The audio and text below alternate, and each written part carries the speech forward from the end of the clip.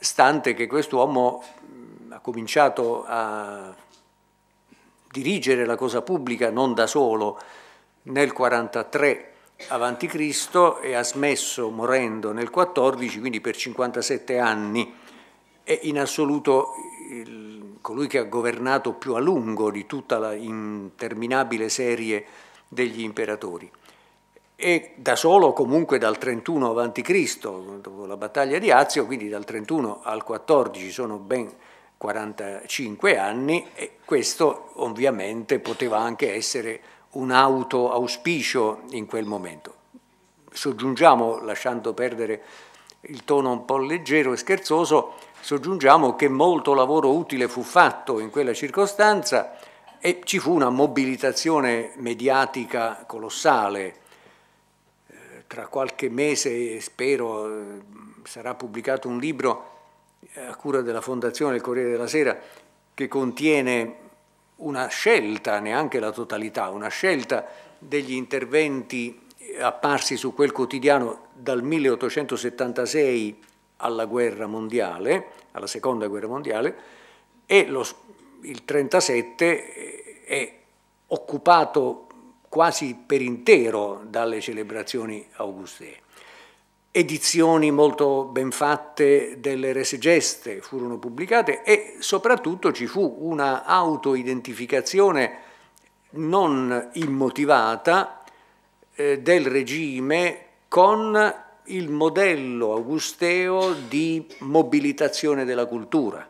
Quindi c'è da dire che eh, lo specchio in cui il regime si contemplava non era uno specchio deformante, era una scelta e vedremo anche tra breve come fondata.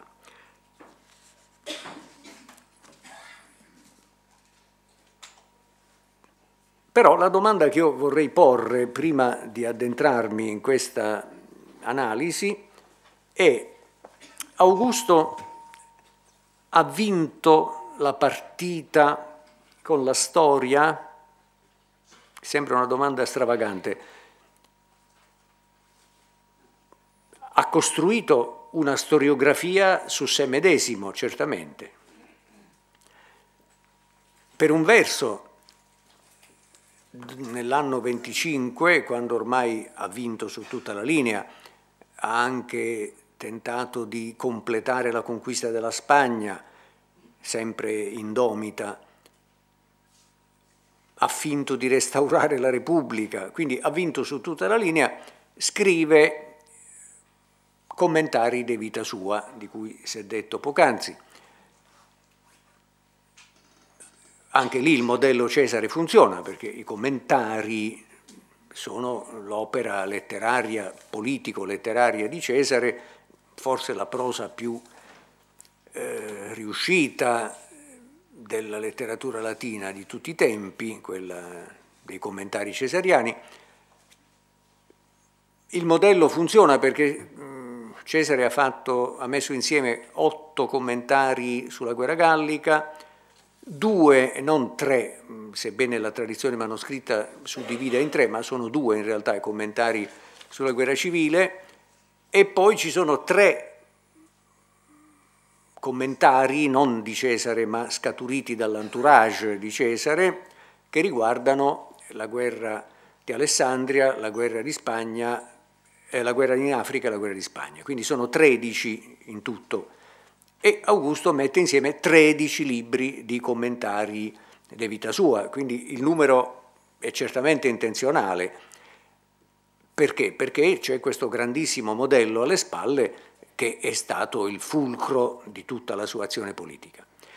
Questo accade nell'anno 25, noi non abbiamo questo libro, quest'opera che era indubbiamente imponente come ampiezza, ma abbiamo molti frammenti e credo si possa dire, ma non sono il solo a sostenerlo, che anche l'opera sulle guerre civili romane di questo storico egiziano di lingua greca che si chiama Appiano, vissuto al tempo di Antonino Pio, più o meno, i primi tempi di Marco Aurelio, ehm, almeno nel terzo libro, che è tutto dedicato alla carriera iniziale di Ottaviano, risenta direttamente, talvolta traducendolo dal latino in greco, dell'opera, dei commentari. Quindi siamo ben messi per capire che tipo di opera fosse.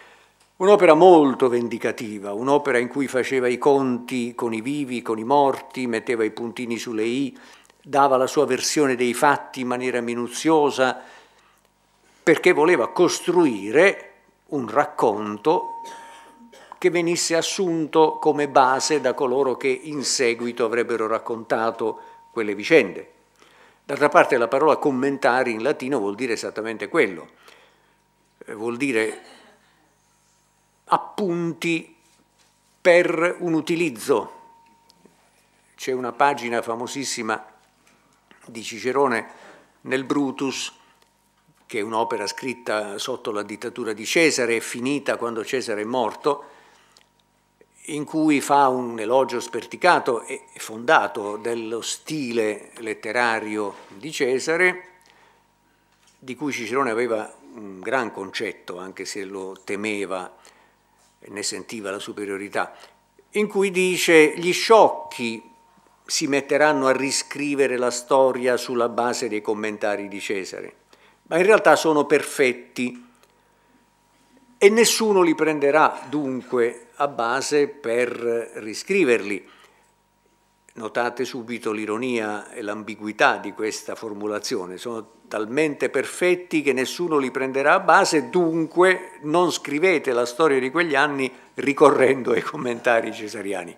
Però la pagina eh, ci serve non solo per capire questa finezza di Cicerone, ma anche per ehm, capire bene, per comprendere il senso di commentarius. Hm? In greco è iupomnema, è la stessa parola, che vuol dire promemoria, no? appunti ordinati. E nel caso di Ottaviano, di Augusto, ormai Augusto in realtà quando scrive i commentari, c'è quest'idea, questo proponimento di segnare la strada a chi verrà dopo.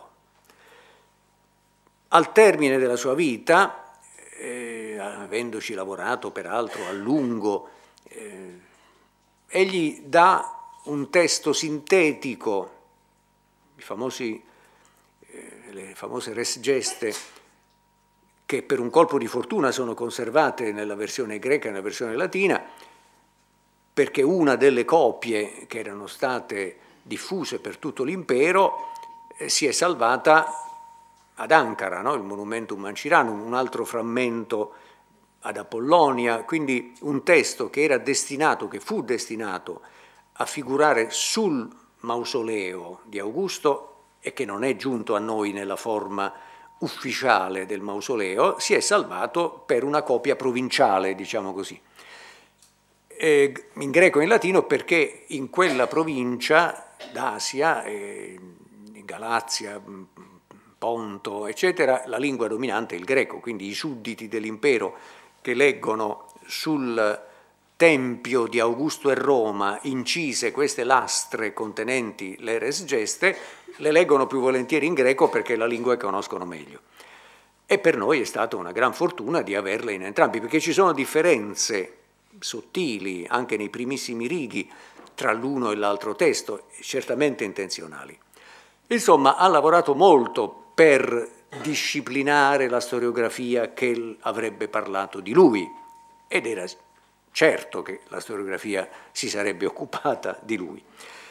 E cosa abbiamo in realtà, perciò insisto sulla domanda ha vinto o no i conti con la storia, di autori eh, viventi al tempo suo, che hanno scritto e la cui opera ci è rimasta in larga parte al tempo in cui egli era al governo, abbiamo un solo autore in realtà. Abbiamo un autore considerato di second'ordine, a torto, in realtà, nonostante il fastidio che si prova nel leggere alcune sue pagine, per l'eccessivo servilismo nei confronti del potere, quest'uomo si chiamava Velleio Patercolo, ha fatto la sua carriera sotto Augusto, ma soprattutto sotto Tiberio, che è il personaggio chiave diciamo, che campeggia in quest'opera, eh, abbiamo la prova di come la storiografia nata lui vivente, si sia orientata sul racconto che egli aveva fornito, una storiografia di regime potremmo dire. Però è un caso isolato, noi sappiamo, eh, abbiamo notizie eh, abbastanza circostanziate di tutta una storiografia di opposizione che ha stentato ad affermarsi, a venire fuori allo scoperto, ma che tuttavia è nata, si è eh, consolidata, ha avuto una vicenda sotterranea. L'esempio più clamoroso, potremmo dire, è quello del grandissimo Tito Livio, che peraltro è nell'entourage di Augusto, eh? è un provinciale, lui è nato a Padova, era un giovanotto quando c'è stata la, la brutale ripartizione delle terre per i veterani, di cui anche Virgilio ha patito gli effetti e molto ha lacrimato su quella vicenda. E Livio scrive un'opera eh, a burbe condita, quindi una, potremmo dire una forma di storia universale incentrata su Roma e comincia da molto lontano. Nella prefazione dice che il presente, il tempo presente, lo amareggia talmente che preferisce cominciare eh, dalla Roma quadrata di Romolo e arrivare lentamente poi al tempo suo. Noi abbiamo la parte iniziale di quest'opera, non abbiamo i libri di storia contemporanea, che erano la gran parte poi dell'opera, no? Di storia contemporanea sua. Però abbiamo dei riassunti, dei riassunti molto stringati, cosiddette perioche, e anche ci rendiamo conto che la sua opera poi ha influenzato altri scrittori, ha influenzato scrittori di molto successivi come un senatore di lingua greca che si chiamava Dione Cassio, vissuto al tempo dei Severi all'inizio del terzo d.C., ha influenzato un prosatore mediocre ma prezioso, amico scolaro di Agostino di Ippona, quindi siamo molto dopo, siamo all'inizio del V secolo, si chiamava Orosio, che ha scritto un'opera eh, storia contro i pagani. Quando parla dell'età di Augusto, dell'età di Cesare, si ispira palesemente utilizza Livio, quindi Livio lo conosciamo abbastanza nonostante si sia persa quella parte che desidereremmo poter leggere.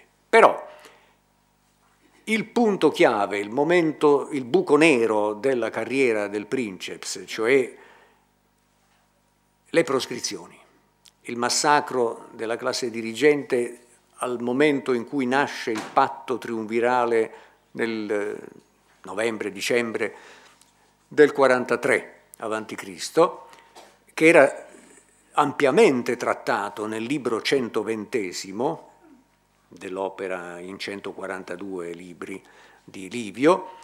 Il libro 120 deve aver disgustato e infastidito Augusto perché il 121 lo pubblicò quando Augusto era morto, prudentemente, cosa che sappiamo perché all'inizio del riassunto appunto della perioca del libro 121 c'è scritto, è tramandato nei manoscritti che ci danno queste perioche, qui editus post excessum Augusti dicitur, di cui si dice che sia stato pubblicato dopo la morte. E c'è evidente che c'è stato un attrito, Augusto ironizzava con Livio chiamandolo Pompeianus. Come sappiamo noi questo? Lo sappiamo da un'opera capitale per noi, ma scritta molto dopo, negli annali di Tacito. No? Tacito è vissuto alla fine del primo secolo sotto Domiziano, ha fatto la sua carriera sotto Domiziano, il tiranno. Lo dice onestamente nella prefazione delle storie, però poi si è messa a scrivere quando Domiziano è morto. È un meccanismo realistico che ci, ci riesce di capire e che autori come Tacito non occultano per niente. Il problema di Tacito è rapporto col potere, la libertà eh, caratteristica del ceto senatorio romano conculcata, ristretta, calpestata da figure egemoniche, invadenti, come, come Domiziano, come Nerone al tempo suo. Bene, e nel libro quarto degli Annali, nel capitolo 34, Tacito racconta un episodio di censura sulla storiografia, avvenuto però sotto Tiberio. Qual è l'episodio? Uno storico senatore, l'attività storiografica a Roma era peculiare dei, dei senatori, una sorta di prosecuzione dell'attività politica in certo senso, no? un'attività militante. Questo uomo si chiamava Cremuzio Cordo, scrive anche lui una storia di quegli anni, degli anni in cui si era verificato il passaggio dalla libera Repubblica al Principato e in quest'opera eh, quest'uomo era il padre di una donna molto amata da Seneca, noi sappiamo moltissimo perché Seneca nella Consolatio ad Marciam parla appunto di Cremuzio Cordo e dell'eroismo con cui la figlia ha accettato il suicidio del padre conseguente alla censura dell'opera sua. In quest'opera Cremuzio Cordo a un certo punto evidentemente parlava di Bruto e Cassio, i due pugnalatori che avevano l'uno organizzato e l'altro guidato la congiura contro Cesare, definendoli gli ultimi romani, gli ultimi non nel senso che poi fosse scomparsa la, la genia, no, gli ultimi degni di chiamarsi romani, che era anche una presa di posizione fortissima rispetto alla realtà del Principato che bene o male si richiamava a Cesare come primo artefice di questo nuovo ordinamento. L'opera viene portata davanti al Senato e sottoposta ad un eh, vero e proprio processo de majestate, per lesa maestà. Cremuzio si difende facendo notare che la lex majestatis creata da Augusto comporta che non si possa eh, vilipendere, sottoporre a critica né il princeps né suo padre. La lex de majestate o majestatis comporta questa limitazione forte, non soltanto colui che governa, ma anche suo padre sono a riparo dalla critica. E dice Cremuzio, ma in realtà in questo caso non dovrebbe scattare perché eh, Tiberio è il princeps in carica, diciamo così, il padre è mm, adottivo, è Augusto. Cesare, vittima dei cesaricidi, non è né il regnante né il padre del regnante, quindi sono fuori dello spettro, diciamo così, d'azione, del raggio d'azione della de majestate, ma la cosa naturalmente non convince i suoi censori e in questo discorso che Cremuzio fa si richiama po' ironicamente, alla tolleranza che aveva Augusto diversamente da quello che si sta verificando in quel momento. E dice Augusto, chiamava scherzosamente Livio Pompeianus, ma sopportava quello che lui scriveva.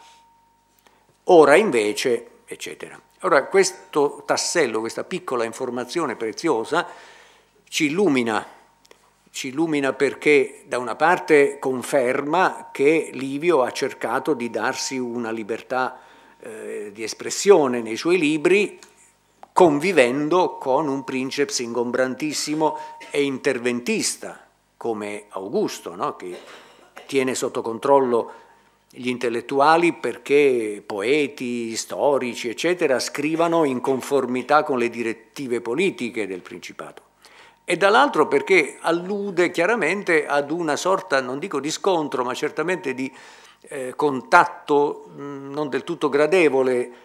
Augusto amava ammantare di ironia le critiche che formulava, ma mh, non erano per questo meno pesanti. E Pompeianus vuol dire antagonistico rispetto alla linea vincente che è quella cesariana e poi augustea e poi tiberiana. Questo fa capire che Livio già pur stando nell'entourage augusteo non era totalmente addomesticato, usiamo questo termine un po' eh, così, eh, sbarazzino. Cremuzio è chiaramente uno storico che si pone agli antipodi, ma poi c'è un convitato di pietra, potremmo dire, ed è il padre di Seneca, il vecchio Seneca, che aveva fatto a tempo a conoscere, vissuto molto a lungo, eh, aveva fatto a tempo a conoscere, eh, a vedere Cicerone vivo e attivo, aveva conosciuto, era spagnolo di, di Cordova, come il figlio ovviamente, no? una grande famiglia tradizionalista, repubblicaneggiante della provincia della Hispania Ulterior, no? Corduba. Aveva conosciuto Asinio Pollione, che era stato promagistrato nella Hispania Ulterior. Asinio Pollione, personaggio che ha un certo ruolo, ha avuto grandi ambizioni a un certo momento, poi è stato messo da parte, Augusto lo detestava con tutte le sue forze, anche perché vedeva in lui un possibile rivale. Anche Asinio, nonostante fosse stato poi un ufficiale cesariano molto fedele, eh, si atteggiava a sostenitore della libera Repubblica. Poi è venuto a Roma il vecchio Seneca, non, allora non ancora vecchio, lo chiamiamo vecchio in rapporto al figlio, e prudentemente si è messo a insegnare retorica, abbiamo di lui una buona collezione di suasorie, che hanno per lo più come argomento episodi di storia romana vivente. Molto spesso sono materiali che poi sono confluiti, erano già confluiti nell'opera storica di costui, ab inizio bellorum civilium, dall'inizio delle guerre civili, è il titolo che il figlio eh, riferisce in una pagina purtroppo malconcia che ci è conservata che si intitolava De Vita Patris, che faceva probabilmente da introduzione all'opera storica del vecchio Seneca, finalmente edita dopo la morte di Tiberio. Perché diciamo dopo la morte di Tiberio? Perché uno dei pochissimi frammenti conservati di quest'opera storica di ispirazione repubblicana era la scena di Tiberio morente che non vuole liberar, concedere che gli venga tolto l'anello dal dito che denota il suo potere. Quindi ha visto Tiberio morire. Sotto Caligola c'è stato un allargamento improvviso, quindi hanno tirato fuori l'opera di Cremuzio, hanno tirato fuori l'opera di Seneca padre. Perché vi ho raccontato tutto questo? Perché il quadro storiografico che ne viene fuori è di una sconfitta di Augusto rispetto al proposito chiaramente determinato di influenzare la storiografia su sé medesimo. Quindi non ha vinto la partita storiografica